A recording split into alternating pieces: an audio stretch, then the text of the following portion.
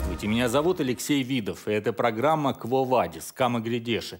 Надеюсь, сегодня мы сформулируем правильные вопросы, на которые следует искать ответ. Тема этого эфира – «Сельский час» нас нет специалистов уже для развития животноводства. У нас слабость с инженерно-техническим уже персоналом встает. И более того, вот, я думаю, что лет 15 уже не идет подготовка у нас механизаторов даже. Ну что, ну еще 2, 3, 4 года, и э, мы упремся в невозможность привлечения кадров. Но нехватка кадров не единственная проблема хозяйства Василия Мельниченко. Дорогие энергоносители, неподъемные цены на технику, не докупишься, недоступные кредиты. Но при этом избыток контролирующих организаций шагу не дают ступить без начальственного окрика. И дело ведь не в том, что контролирующие инстанции изо всех сил стараются наладить эффективное производство на селе.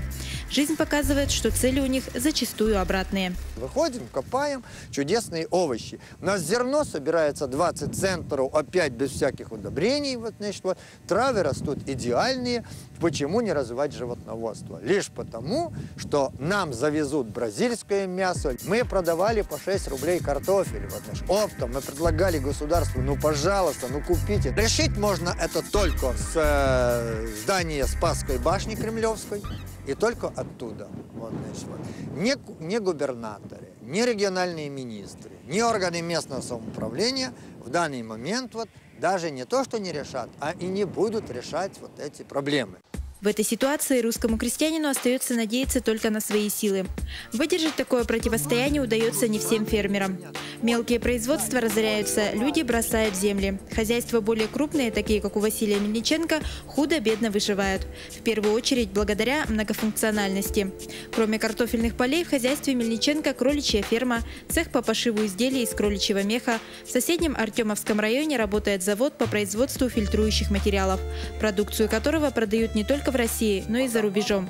Василий Александрович убежден, будущее села за крупными многопрофильными предприятиями. Надо иметь свои кооперативные заводы переработки, крахмальные заводы, если это касается овощей. Надо иметь свои э, базы хранения, логистические центры. Фермерам всем объединяться, строить и делать. Надо брать всю торговлю в свои руки. И деньги забирать все сюда, в село, чтобы они шли вот на, на действительно поддержку, на зарплату, на строительство жилья, вот на то, чтобы молодые семьи здесь приживались. Вот, значит, тогда будет все прекрасно и нормально. Ну, а пока неужели действительно вот все так плохо, и, по сути, русская деревня приказала долго жить? Ну, уже сто лет э, идет тяжелейший процесс, мы должны это отчетливо понимать, и мы, конечно, сегодня можем говорить о том, что все на грани. Еще чуть-чуть, и все будет необратимо. Это действительно так. Э, это началось не 20 лет назад, э, и даже не при большевиках, хотя пытаются всю вину свалить на них. Это такой вот процесс, по сути, собирания в большие города. Сейчас даже официально провозглашается идея очень часто, что мегаполисы, 20 примерно мегаполисов, миллионников или Москва гигантская, Питер, они достаточны, а остальные территории, они вторичны. Угу. Это почти официальная доктрина, хочу подчеркнуть. Поэтому, конечно, при такой доктрине, да еще когда труба кормит страну, а дальше все должны работать или около трубы где-то существовать, тогда вообще непонятно, зачем сельское хозяйство. Если это не остановить, и прав совершенно вот герой вашего репортажа, если это не остановить, то мы навсегда потеряем деревню, а значит потеряем свою землю и свою Россию. Ну вот э, молодые реформаторы, когда 20 лет назад рушили все, колхозы, совхозы, они огромные надежды возлагали на фермерство, на фермеров. Вот фермеры сегодня оправдали свое предназначение? Знаете, я хочу только одно сказать. Вот э, я в 95 году впервые познакомился с немецкими фермерами. Угу. А в Германии интересная ситуация. Мне объяснил один банкир, когда знакомил с фермером, он говорит, что только у двух категорий немецкого населения э, есть возможность покупать Мерседесы. Это банкиры и крестьяне. Угу. То есть это первый момент. Чувствуете, да? Представьте, в России, например, только как крестьяне могли бы и банкиры. Да? И второй момент. Я посмотрел воочию, что это такое, когда три немца содержат 70 коров и так далее и тому подобное. Да, их три, коров 70. Но на них работает еще 200 человек в сложнейшей организации труда, понимаете? То есть это вот представьте какое-нибудь здание ООН или большой современный город, сложно организованный. И фермер – это только небольшая единица, вокруг которого прекрасная инфраструктура – Удобрения им доставляют, семена им доставляют, зеленку им кормить доставляют. А они, три человека, ходят таким гоголем-моголем и говорят, да, вот здесь чуть-чуть получше, может музыку включить и так далее, понимаете?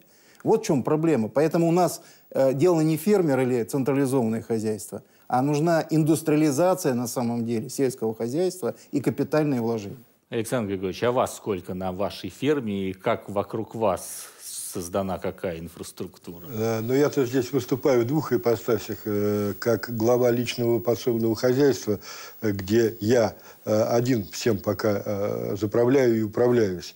И как вице-президент Национального союза кролиководов угу. по связям с фермерскими хозяйствами и личными подсобными хозяйствами. Это ваши кролики сегодня в гостях? Да, да, да, да. Мои кролики, вот шкурки привез, какие можно сделать делать прекрасные, э, имитируя под любого э, зверя угу. ценного, что вот какую продукцию можно делать. Давайте вот сейчас мы познакомимся с вашим хозяйством, а, прокомментируйте нам кадры и расскажите, что мы увидим. Так, это вот ваш дом, да? Да, это дом мой, от родителей остался все. Это награды, награды мои. дипломы. Так. Это, э, это, так как земли маловато в рамках личного подсобного хозяйства, вынужден уходить в небоскребы, э, которые, конечно, не очень удобны в обслуживании. Но смотри, смотрите, какие мордочки э, симпатичные. Да, это кролики породы Рекс, э, э, порода, которая развивается сейчас в России, а пришла она вообще к нам из Франции. Да, сам кормлю, сам чищу, сам ремонтирую, делаю покрытие. Э, все клетки пронумерованы, веду селекционно-племенную работу. У меня есть селекционные достижения. Сейчас работаю над выведением внутрипородного типа породы белый великан с условным названием белая чернова, который характеризуется тем, что по своим э, по энергии роста и мясным показателям не уступает американским специализированным породам, таким как э, новозеландская белая и калифорнийская. А также работаю над э, выведением типа кролика породы Рекс, мех которого по шелковистости и тонине меха не будет уступать благородной шиншилле. На эти шкурки, вот они здесь представлены очень широко, уже получил заключение эксперти, э, экспертизы, что э, факт ну, задокументирован. Ну, то есть ваше дело, оно успешно развивается? Оно могло бы успешно развиваться, еще более, если бы была земля, найти инвестора на э, сельское хозяйство очень и очень тяжело. Владимир Викторович, как вы считаете, может фермерский труд сегодня прокормить нашу страну? Э, фермерский труд своими силами не сможет прокормить. Э, необходимо понимать, что сельское хозяйство – это, в принципе, убыточный сектор экономики, и без поддержки государства вести какое-то сельское хозяйство очень сложно. А почему вот он убыточный в нашей-то такой богатой стране, где, казалось бы, все должно быть? Да, должно быть. Но вот из того, что это убыточно, государство не хочет вкладываться в это. У нас очень сложные э, погодные условия для, для ведения фермерства, там, для выращивания картофеля, зерна. Точно так же и, и очень сложно скот выращивать. Для этого Интересно, необходимо... как все века выращивали. В этих же погодных условиях наши крестьяне, вы меня извините. Ну, всегда была какая-то поддержка население. фермерства. То есть э, крестьянство поддерживали тем или иным способом. Например, э, если посмотреть на Запад, э, в Европе до 50% идут дотации. В Америке до 30%. Финляндия, Япония до 70%. У нас, к сожалению, дотации доходят только до 3%. То есть государству необходимо пересмотреть э, отношение к сельскому хозяйству, э, больше вкладывать э, инвестиций, дотаций. То есть вот как Василий Мельниченко в первом сюжете сказал, это все только со Спасской башни можно решить. Да. Правильно я понимаю? По-другому быть не может. То есть это должно быть какое-то государственное решение. Конечно. В Европе многоуровневая дотационная система. А сейчас я хочу привести один положительный такой успешный пример фермерства. Американец Джей Роберт Клоус влюбился в русскую девушку – и стал русским фермером, они производят сыры. Давайте посмотрим, как они живут. По всем признакам владения сыродела Джея Роберта Клоуса то редкое место, каких в окрестностях Москвы фактически нет. Ферма, где варят собственный сыр, растят органические овощи и фрукты, и куда может приехать любой желающий посмотреть, как делается гауда и эдам, подоить козу, поесть органической еды и поучаствовать в повседневной фермерской жизни. Говядина, кози, мясо, барашки, э, молочные продукты, здесь там 35 сортов. Сыроварня – это небольшой домик, на первом этаже которого с трудом умещается кухня, 300-литровый котел для варки сыра, стол с парой сырных прессов. Обойти участок можно минут за пять. Экскурсии для журналистов обычно проводит старший сын Захар. Вот эта белая коза, она бодается. Локальной экозвездой Клоуса, кажется, сделала лавка, которая торгует его сырами. Чеддер. Гауда. Еда. Есть на свете люди, истории которых восхищают, и Клоус из их числа. Он родился в Нью-Йорке, воспитывался в Мексике, учился в Англии, жил на крокодиле ферме в Папуа-Новой Гвинее, мотался по Австралии, переезжал в Италию, чуть-чуть побыл в Испании и Германии. Семь лет прожил во Франции на барже рядом с баржей Пьера Ришара, а в начале 90-х случайно попал в Россию и остался на 17 лет. Как работает эта страна э, по культуре, по э, Э, по еда, по истории. Был переводчиком, водителем, бэбиситером для детей-танцовщиц. Три года мотался на Ибицу, устраивал петушиные бои, черепашьи бега. Летом служил коком на теплоходе Москва-Ростов и Москва-Петербург. А потом он устал от Москвы и от клубов и купил коз, коров и кусок земли.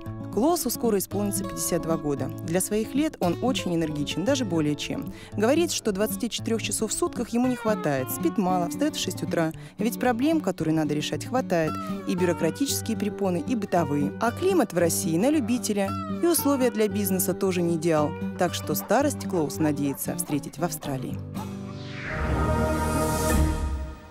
Ну, вот такая удивительная история даже американцев привлекает вот этот какой-то особенный дух русского крестьянства. И теперь возникает вопрос вот с разрушением деревенских исп, вот этот дух – он останется на нашей земле или нет. Сегодня в нашей студии присутствуют я считаю, достояние нашей культуры, выдающиеся, талантливейшие люди. Владимир Крупин, писатель-деревенщик. Вы знаете, я вот гляжу с болью на страдания. Я, я сельский человек, я сельский мальчишка, настолько мне все знакомо. Вы знаете, э, сельское хозяйство Запада, сельское хозяйство России – это совершенно разные вещи. Земля для русских, для россиян, она никогда не была просто территорией, с которой собирают урожай. Она была мать сыра земля мать сыра земля. У русского пять матерей. Мать, которая родила, крестная мать, Божия матери, мать сыра земля. Вот богатыри. Сколько были? Вот изнемогает богатырь, он припадает к матушке земле, получает от нее силы. И она такой остается, конечно, она зарастает, уничтожается. Но, вы знаете, все-таки ее уже не пичкают, не кормят этой страшной химией все-таки. Она возрождается. Много нужен человек, нужен хозяин. Я из Вятской земли, был колхоз коммунар такой, был председатель, ну такой болеющий за хозяйство, болеющий, он просто доярок на руках носил. Эти какие же трудности? Попробуй держать группу 12-14 коров, выдаить. Это же руки какие вот скрюченные, это помню, они их прятали себе. Он умер от разрыва сердца на поле, когда он вышел, и все было заросше. Вот, вот бурьян, полынь и все. И, конечно, вот это ощущение любви к земле – которого мы не видим нигде, любви к земле, оно у нас есть, оно сохранилось. И страдание за землю – это страдание, оно, я думаю, даст свои результаты. Таня – мастер телевизионного очерка уже много лет. Вы еще начинали на центральном телевидении делать да, первые да, зарисовки да. о деревне, и да. на ваших глазах все менялось. Вот что вы можете сказать? Каковы ну, эти Я сначала хочу немножко подхватить. Вот вы сказали, есть у нас любовь к земле. Я вот прочла статистику, вот, специально посмотрела. По данным переписи 1897 года в России было 77% крестьян. то есть почти 80. И остальные были там чиновники, ну, дворян, всех сразу перебили. Так вот, я думаю, э, мы кто вообще? Народ-то нельзя уничтожить. Мы же крестьяне.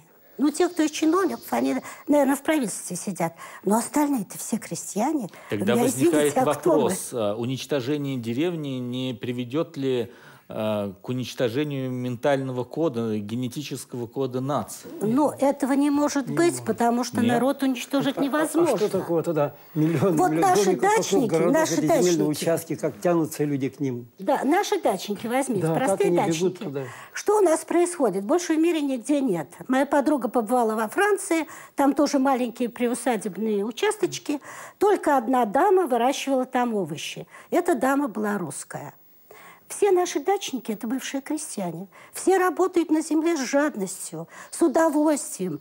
Даже те, кому казалось бы, вот газоны, цветы – вот не получается. Но у кого-то получается, у богатых сильно. А в принципе все хотят выращивать. То есть я хочу Это сказать, потребность что у нас, у нас существует да. этот самый да. код. И все мы крестьяне. Я, например, пришла к своей деревенской теме очень простым образом. Моя мама и отец крестьяне. И вот мама мне сказала, боже мой, я мечтаю побывать в своей деревне. Если бы ты знала какой-то рай – когда я после войны, после, вот они приехали в 30-х годах, приехала в город, где меня встретила всякая грязь да мат, это был такой ужас. Деревня рай. Поезжай, Татьяна, поезжай. И надо сказать, что вот после этого я вдруг поняла, что надо снимать о самом главном, о деревне. Ну, просто это самое главное, действительно. Да. А что происходило у нас с деревней, ну, об этом много, многие писатели писали. Все от нее отворачивались. Да. То временно поворачивается, то опять отворачивается. И культура отвернулась от деревни, литература, искусство. Что-то вроде это все да, темное. Да. Я, извините, перебил вас, извините. Да, что темнота, там, косность, да ничего подобного. Дело в том, что у русского крестьянина всегда был идеал благообразия, то есть Божьего образа. То есть он был христианин, крестьянин, христианин, человек высочайшего нравственного уровня. А что значит это церковь в селе? Села без церкви не было. То есть это, понимаете, гармоничное существование в работе, на природе, вместе с циклами природы и церковными службами. Невероятно гармоничное существо, прекрасное. Да. Куда оно могло деться? Оно есть, оно в нас. Да. Оно просто... Надо только уметь к нему, видимо, обратиться и как-то вынуть его наружу. Давайте сейчас посмотрим один из ваших небольших сюжетов, Таня. Странную игру природы обнаружил студент Паша Морозов в окрестностях деревни Большие Жеребцы. Необычный родник. Вода показалась мне странной, необычной. Она была э, шелковистой на ощупь и чуть зеленоватым оттенком, такая маслянистая, даже солоноватая на вкус. Но это могло быть, естественно, все что угодно. Я отвез э, на кафедру океанологии, мне э, дали справку. Происхождение взятой пробы Средиземное море возле испанского острова Пальма де Майорка. Кроме того, вот такая вот ракушка от улитки. Таких улиток в средней полосе у нас нет. Почему вода оказалась именно испанской, именно Паль, Пальма де Майорка, это, насколько я понимаю, это курорт очень знаменитый. А здесь, конечно, не курорт. Пока молодой естествоиспытатель размышлял о причинах этого явления и о перспективах с ним связанных, мы решили порадовать находкой жителей ближайшей деревни Никифоров. Что вам напоминает вот эта вода? Водка, наверное. Да? Не выпившись, не скажешь. Ну вот я вас должна, в общем, не знаю, огорчить или обрадовать, но дело в том, что это не водка. Это Средиземное море. Я прожу. Потрясенный Сергей причин этого явления понять не мог, так же, как его сосед. Море. Да йода немножко смахивает. И свежестью, и, да. это, и ведь солоноватое, да. Очень даже. Зато супруга соседа высказала гипотезу, что Средиземное море просочилось через образовавшуюся где-то в земной коре щель и уверенно назвала место, где родничок появился. Мы бы не поехали на юг, здесь бы жили, никуда не выезжали. Все бы к нам приезжали отдыхать. Мечта о Средиземном море становилась все реальнее. Мы увидели, как заполняются искрящиеся на солнце зеленоватой водой деревенские овраги, почувствовали, что ветер стал теплее, а дождичек перестал. Да. Россия – это такая вещь, она непредсказуемая. Даже сладкая вода может появиться. В общем, на Средиземное море все были согласны, но с одним условием, чтобы на берегу росли березы. Кстати, вода действительно с берегов Пальма до Майорки, а остальное мы сыграли. Дело было 1 апреля. Александр Карпенко, Татьяна Гобзева и Валерий Панкратов. Такой шуточный сюжет, понятно, но сколько в нем смысла, какие чистые лица, Потаенного глаза. смысла. Да, да, да, да, да. И в то же время и, и грустного смысла, потому что, ну, извините меня, первая ассоциация, что это, водка. Ну, он, естественно, он у нас же в, в искусстве, в культуре, в литературе всегда был главный герой – это кормилец, человек на земле, строитель, солдат, воин. Теперь этот образ изгоняется, насильственно изгоняется. Ну, или одна похабщина, или одна чернуха, или одна развлекуха. Вот все идет и хлещет на нас это пропаганда, это зеленый чешуи, змеиный доллар, вот это материальное отношение к жизни. И даже известие делают, чтобы жить не хотелось. Понимаете, вот что это вообще? Ну, где вот хотя бы по два-три четыре репортажа э, на неделе о людях, которые работают, выращивают деточек. Какого прекрасного количества семей, не пьющие отцы, много детей. Почему это не показывают? А они есть? Нет, обязательно произошло убийство. Если не показывают, Конечно. значит думают, что и нет. Они есть, ну, иначе нас бы здесь не было. было. Да. Никого. На, вот на, ком, на ком земля эфира. русская держится? Ну, я сейчас шел вот пешком до, до, до студии, но никто что не стреляет, трупы не валяются, люди идут сыты, хорошо одеты, некоторые смеются и так далее. Ну что ж, это жить, жизнь совсем другая, нежели нам ее представляют. Владимир Николаевич правильно говорит же. Мы, люди на земле, мы остаемся, мы никуда не ушли. И если нам нас просто с каждым годом становится все меньше, и на замену нам не очень охотно идут э, Владимира Викторовича э, поколения. И, и, и мы все должны быть этим озабочены. Я... Как раз у Владимира Викторовича я хотел спросить, вот почему, вот, а, что вы думаете о ваших сверстниках и как им привить вот эту любовь к земле? Ведь это сейчас для них совершенно не модно, они в другую сторону устремлены, другая система ценностей. Да, в том-то и дело, что сейчас меняются ценности, и молодое поколение стремительно устремляется в города. И уезжают, не хотят связываться с землей, потому что там тяжело, там приходится людям буквально выживать. У нас э, ежегодно с лица страны исчезает 6 тысяч деревень.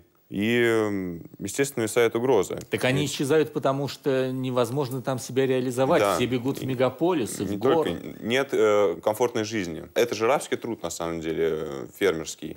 Людям приходится очень много работать. Э, вставать рано, там надо коров идти доить, до вечера кормить, э, саженцы собирать и так далее. Здесь необходима поддержка, чтобы фермеры могли объединяться, э, сельскохозяйственные кооперации, чтобы не было посредников для сбыта продукции. Угу.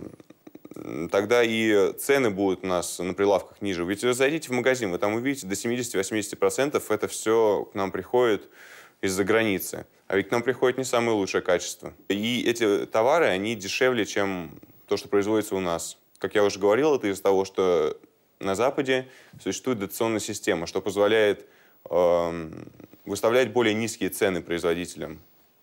А у нас э, не то, что ничто не, не, не добавляют, а еще и надкусывают. Потому что коррупция страшная в стране. Вот какие бы средства ни выделялись, дойдет минимальная часть. Тут э, надо искоренять в первую очередь в нашей стране коррупцию. Так все понимают, что надо. Все, да нам враг все, не все нужен, мы сами себя губим. Да, да. Вот нам не нужен внешний... Нет, я вот, вы знаете, простите, говорить. я не могу понять. Вот говорят, скучно в деревне, уныло, мрачно, там туда-сюда. А что интереснее? Работать в городе, чего-то там убирать, чего-то приклеивать, там, какие-то там делать сантехнические работы, вот, ну, мотаться по улицам, приклеиваться к телевизору, смотреть на звезд – это что, вот интереснее, чем э, существовать э, в огромном э, микрокосмосе Дело вообще, в том, что интересно. Вы знаете, когда мы ностальгируем вот о цветущей, процветающей деревне, конечно же, мы имеем в виду деревню советского периода, потому что до революционной деревни мы не видели, мы только про нее читали. Вот как вы считаете, можем ли мы из опыта советской цивилизации взять в настоящее, вот в сегодняшний день что-то полезное. Вот было ли что-то в советском опыте ценное, что можно применить сегодня в деревне? Я думаю, что советские колхозы, которые действительно, наверное, были успешными много, они все-таки были просто наследницами старой русской деревни. И, в общем-то, они держались на тех людях, у которых в крови было вот это вот умение работать, э, крестьянская закваска. Мне кажется, так, потому что люди еще по памяти, может быть, дедов, там, матерей, отцов, они знали, как надо работать в колхозе. И действительно, наверное, были успешные. Но все, кажется, мне это держалось на факторе вот таком человеческом.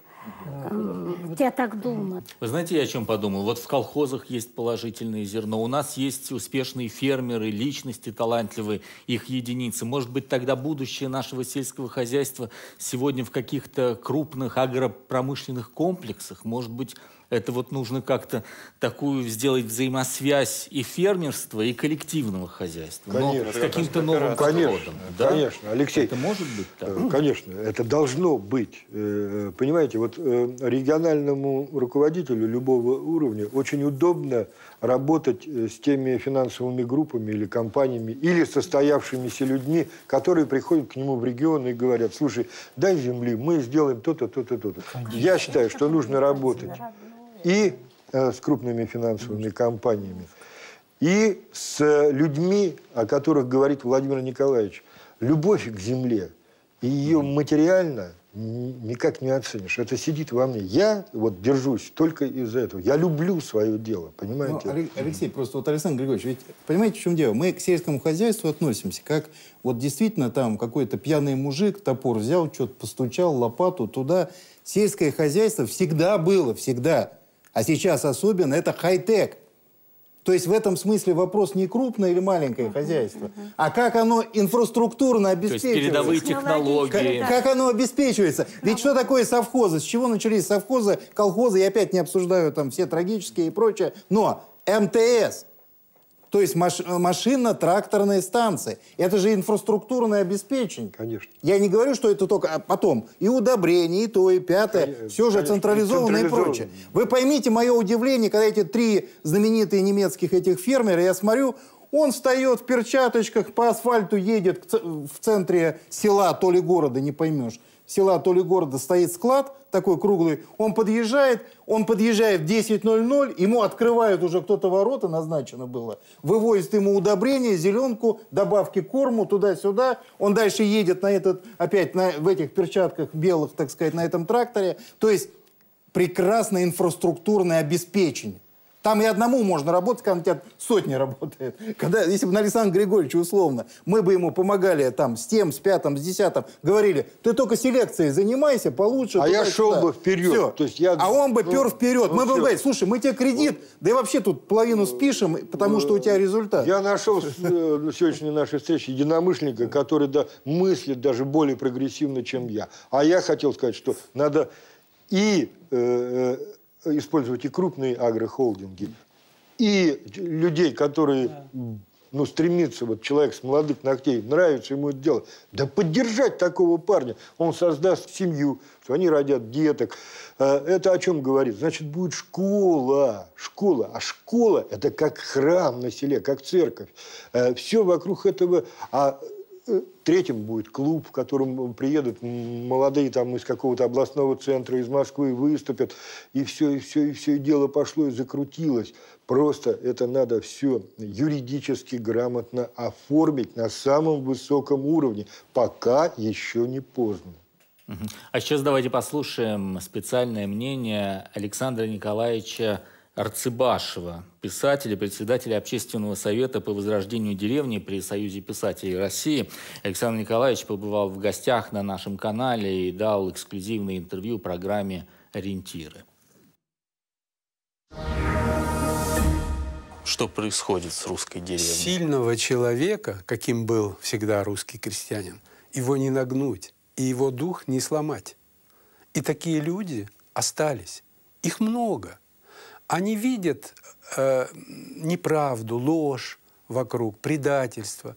И еще больше углубляются в себя, э, э, к своей душе обращаются и стараются сделать все, чтобы сохранить своих детей, свои семьи. Вы как раз вот говорите о героях ваших произведений, но по вашим же произведениям видно, что эти люди как раз исчезают, их становится все меньше. Например, вот Тимониха, да, которая вообще исчезнувшая деревня. Да, это родина Василия Ивановича Белова, где он и похоронен, который заботился о крестьянстве, писал о болях крестьянства завещал похоронить себя в опустевшей Тимонихе рядом с церковью, которую он отреставрировал на свои деньги. Этот факт говорит о том, что Тимониха не умрет. Уже сейчас там все скупили дома, молодежь причем. Я был в Вологде вот э, недавно. Молодежь скупила дома, фермеры приезжают и потихоньку обосновываются. Получается, что не умрет Тимониха, не умрет русская деревня. Конечно. Но, но немцами мы никогда не будем. Вот там у нас все равно никогда не было. Потому что Вася пойдет, когда наплевать, там вот, в общем, не, такого блеска, конечно, не будет. А может, и не надо даже, потому что есть же ощущение вот, русскости. Вы знаете, есть великая формула русского. Да ну и плевать. Вот идет, ползет выгода русскому в руки. Ну вот возьми только, да, а, да наплевать, он говорит, мне не интересно. А если ему интересно, он даром работает. Вот это ощущение другого характера не похоже. Э, есть святость в ваших словах, я ее понимаю, и, может быть, вы и правы. Но, к сожалению, не выжить в современных условиях вот с таким подходом. Хочу сейчас вспомнить еще об одном человеке. Уже больше года нет с нами замечательного писателя, писателя-деревенщика Василия Ивановича Белова. Его герои давно стали символом русского народа, русского характера. Они труженики, они оптимисты и непоседы. Что ни случись в шумливой России, все им привычное дело. Все мужик перетерпит, все переможет, ни под чем не согнется. Он живет в ладу с Богом, людьми и самим собой. Он постигает простой крестьянский круг жизни, вечный, как сама жизнь. Василий Иванович Белов озвучил нам простые истины. Надо жить, сеять хлеб, дышать и ходить по этой трудной земле, потому что другому некому делать все это. Белов любил лад. В душе и в жизни народной он ненавидел разлад, войну и голод, развал державы и развал семьи, трагедии народа и человека. Писатель не боялся нового. Он был уверен, что внешний прогресс, мосты и небоскребы, моды и развлечения не касаются жизни самого человека. Он трудится, строит города и дороги, обихаживает землю и питается от ее плодов. Он заводит семью и находит друзей – он мужает, выживает и побеждает. И, как все, стареет и уходит в мир иной. Наша литература и наша культура была богата образами героев, которым мы хотели бы подражать. И потребность в таких героях у народа огромная. Жажда у народа видеть, как он прекрасен, каким он может быть героическим, этот народ. Белов душой болел за отечество и родную Вологодчину – Кондовый северный крестьянин, он уловил весь порядок, всю полноту и завершенность традиционной жизни народа и запечатлел ее. Он дал нам архетип русского человека. Он сам был архетипом русского человека. Вот теперь возникает вопрос, как соединить архетип русского человека и вот этот пульс новой жизни, вот все то прекрасное немецкое качество, о котором вы говорили, все современные достижения. Вот это соединимо как-то для будущего нашего сельского хозяйства, или это никогда не соединится?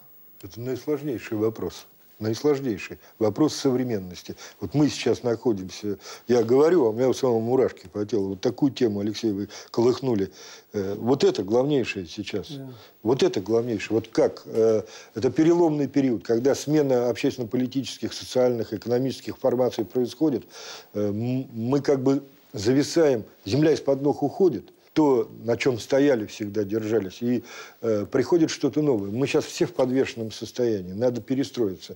Сейчас кто успешен? Тот, кто успел э, быстро перестроиться.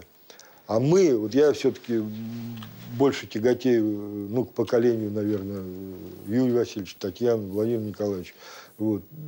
Мне тяжело. Мне тяжело. Я умом-то все понимаю. Я с Юрием Васильевичем, наверное, во всем соглашусь. Но, с другой стороны, я стою внутренне, я стою на позициях Владимира Николаевича, того, что он говорит. Э, и вся Россия в массе своей, как страна православная, Да и это даже и, и не важно. И с нами много веков существуют народы, которые такие же э, испытывают трудности, как и мы. Э, и вот э, если нам удастся с наименьшими потерями это, этот период пройти, очень умно, очень грамотно как-то, очень результативно. И я уповаю только на Господа, потому что, ну, э, должно какая-то подсказка прийти, какая-то помощь, иначе мы себя потеряем, потеряем свое лицо. И была такая поговорка «погибли яко обры», о которых никто и ничего и не помнит уже, кто такие были. Вот. И вот эту свою идентичность мы должны сохранить и в то же время не отстать от современного мира. Вот действительно, давайте сравним, вот, э, что идет сейчас Третья мировая война. Третья мировая война, это идет война на уничтожение России. И вот вся эта перестройка, вот как страшная война пронеслась. Все разорено, разрушено, эти страшные избы разрушены. Я уж нагляделся на весь этот ужас. Но вспомним страны, которые возрождались после войны. Они возрождались за счет патриотизма. Япония – Германия. Только да. за счет патриотизма. Да. Абсолютно другого объяснения нет. И вот у нас есть вот чувство любви к родине, когда не будут бежать. Вот смотрите, мы, для всех мы были оккупантами, да, для Средней Азии. Они приезжают сюда, просятся тротуары подметать. Прибал, для прибалтов мы были такими оккупантами. Я недавно был в Риге, они все волком кричат, криком кричат, у них молодежь вся уезжает. Пустец. Вот, вот чего они добились, разрушая страну. Раз она разрушена, значит, нам надо самим возрождаться, России. И все остальные опять на коленях приползут. Но на, на, надо да стать не, сильными. Да даже не в этом и дело, не чтобы... Надо. Не надо, пусть там Знаете, Алексей, вот дело в том, что мы для молодых людей, то, что вот говорится об архетипе, о духовности, это все, так сказать, сказочники говорят. Унылые сказки, которые они могут и слушать, но до сердца-то не пробивается. Владимир Викторович, сказки не пробьешь ваше сердце. Ценностные ориентации немножко другие. Ну хорошо, тоже наше родное телевидение и прочая э, пропаганда. Ведь существует, да, существует некое представление о том, что жить надо нормально. Жить надо богато, жить надо в комфорте. Вы знаете, но не все телевидение такое. И вот наш канал «Радость моя» все-таки пытается что-то делать в этом медийном пространстве, и уже несколько сезонов на нашем канале выходит специальная программа «Пройти 100 дорог». И создатели этой передачи сегодня будут гостями нашей студии. Но прежде я хочу поблагодарить Владимира Николаевича Крупина, великого русского писателя, за то, что, Владимир Николаевич, вы нашли время – и пришли в нашу студию, хотя ограничили строго нас по времени, поэтому, конечно же, мы вас отпускаем. Спасибо вам. Спасибо, Владимир Николаевич. Смотрим «100 дорог» фрагмент. О Юрии Васильевиче Белякове я узнал, когда побывал в поселке Пестяки Ивановской области. Уже несколько лет он живет совершенно один в деревне Мишалкино, неподалеку от Пестяков. Зимой дороги заносит снегом, и Юрий Васильевич оказывается в полной изоляции. Да и летом добраться в Мишалкино непросто. Разные люди рассказывали мне о единственном жителе деревни. История Юрия Васильевича тронула меня до глубины души.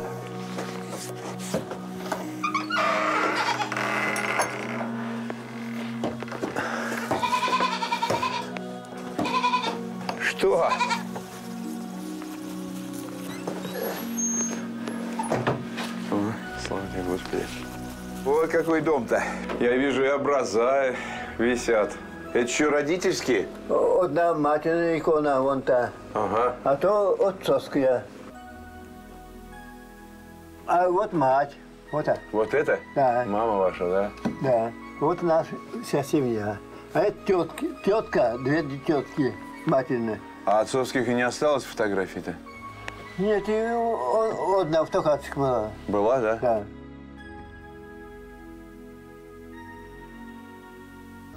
Мы посмотрели фрагмент программы «Пройти 100 дорог», и к нам присоединились ее создатели, режиссер проекта Анастасия Якимова и ведущий Юрий Григорьев.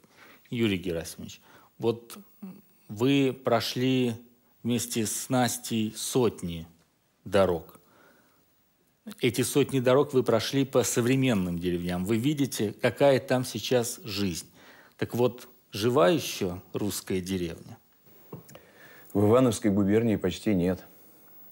А, это вот для того, чтобы к Юрию Васильевичу доехать, мы проехали до этого... А, а, дорога, знаете, как в деревню входит, если дальше идет, значит, мы едем дальше. Вот мы деревень 5 или 6 проехали, они практически уже были пустые. А вот в этой последней, там дороги дальше уже не было жил Юрий Васильевич. Э, уже четыре года он один жил. Перед этим была соседка Валя, по-моему, да? Валя, говорит, была, да, вот э, четыре года назад ты все-таки пошла в э, там какой-то дом для престарелых, а вы что же не идете? Не-не, я уже здесь уже. Нога больная, ходить тяжело, журавль сломался, колодец, он так вытаскивает это. А я говорю, ну, может, как-то все-таки помочь вам? Не-не-не, я сам, я сам. Может, скосить траву? Нет, я сам удивительные, удивительные люди. Но это которые... вот какое-то сознательное отшельничество или это просто вот деться нет? Нет, это то, о чем говорили уже вот в первой части, что настолько они прижиты к этому месту, где они всю жизнь, да? А их бросили. А их бросили на произвол вот, судьбы. Их бросили просто. Знаете, какое самое большое издевательство? Это новый телефонный аппарат кабинка такая, которая да, вот да, в этой пустая деревне. деревня. Некому. А, и стоит Нет, желтая дело такая, не в том, яркая. что звонить, а чтобы по ней позвонить, надо купить карточку. Поехать в город? А чтобы карточку. купить карточку, нужно поехать куда-то в город. И то есть вот понятно, да, вот эта система телефонизации, о которой мы читались везде. Но галочку что у нас поставили. все охвачено, а да, да что конечно. даже в самое далекое, да, это формально так, но, но вот вы знаете, о чем очень хочется сказать, что э, все-таки есть замечательные примеры удивительные. Мы проехали Белгородскую область, кто-то из вас поминал ее. Да. А, там Сейчас замечательный, расскажу. совершенно просто сумасшедший председатель. 92 года. Горин, да, по-моему? А, Горин. А, 92 года ему сейчас. А председателем он стал, когда ему было 50, э, в 56 году. 55 лет он председатель. 50, представляете, он уже 55 лет там председатель. А как ему не помешала смена общественного строя? В 93 году приходили э, демократы, говорили, что значит так, все, все закрывай, э, мы заканчиваем, значит, у нас все будут фермеры теперь. На что он сказал, вы, наверное, ошиблись, голубчики, вы, это, понимаете, это колхоз, коллективное хозяйство. Я председатель правления. Если хотите, я сейчас соберу весь колхоз, и мы обсудим ваше предложение. Ну, тут только камнями не побили, в общем, этих демократов. Э, то есть они, мы, первый, с кем мы э, разговаривали, с председателем профсоюза. Там до сих пор Алексей. есть. Вот можно я, вот понимаете, просто да. вот этот сюжет, ну, действительно, просто блестящий. Ну, он, он, показывает, вот он показывает, где мы находимся. Это первый пункт. Он угу. убивает и прибивает. Как бы все вроде знаешь, а когда вот увидишь в живье, как, ну, просто спасибо огромное авторам фильма и кусочек вот этот. Но я что хочу сказать? знаете, я хочу сказать все-таки вот совершенно сейчас, если можно, в другую сторону, вот совсем. Потому что это, это, это вот результат вот всего этого безвремени. Угу. Ну, здесь, честное слово, только в магазин идти и дальше уже обсуждать по-другому эти вопросы, потому да. что ну, просто сил не хватает и так далее. Но я что хочу сказать, а вот давайте на это посмотрим с точки зрения, а что надо проектно сделать.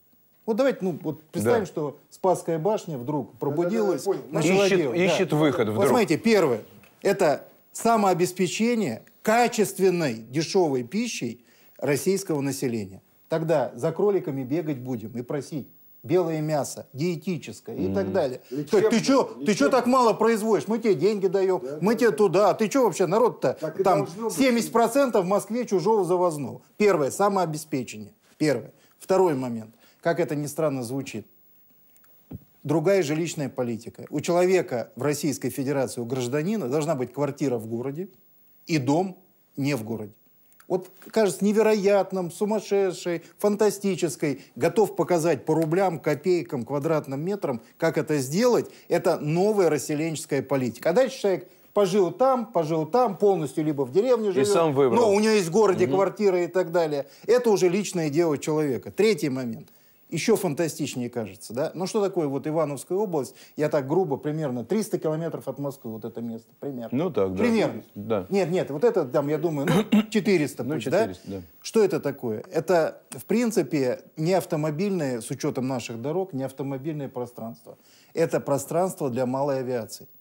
На Аляске живет 750 тысяч человек, представьте, и там 9 тысяч маленьких, по сути, частных самолетиков, как автомобили. Mm-hmm. А у нас на всю страну половиной тысячи, из которых половина не летает. И это опять кажется невероятным, но когда молодежь будет этим заниматься, когда будет доступный самолет, как это не кажется невероятным, и человек эти 300 километров просто пролетит за два часа, сядет там на полянку, еще, так сказать, спокойно, у него там ранчо, и весь мир ему завидует. Потому что это экология, это еще что-то, это своя земля, свой лес, он там не ютится и так далее. Четвертый момент, последний, не буду, там много чего, но последний момент, как ни странно, размосквичивание.